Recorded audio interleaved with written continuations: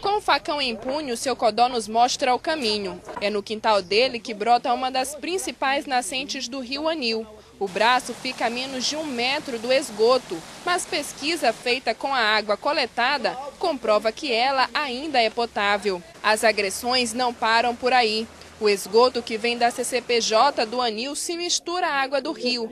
Neste ponto, dois braços se encontram, mas a água que nasceu pura na terra já está completamente contaminada.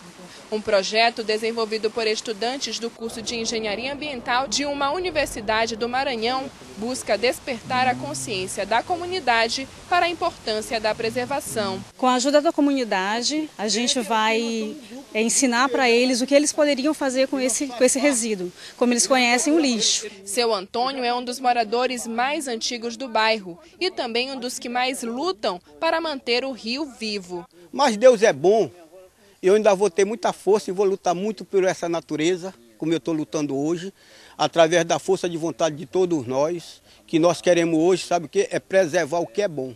Um dos objetivos do projeto é implantar aqui na comunidade da Aurora um sistema de gestão de resíduos sólidos que ensine a comunidade a cuidar do seu lixo e assim preservar as riquezas hídricas que sobrevivem às agressões.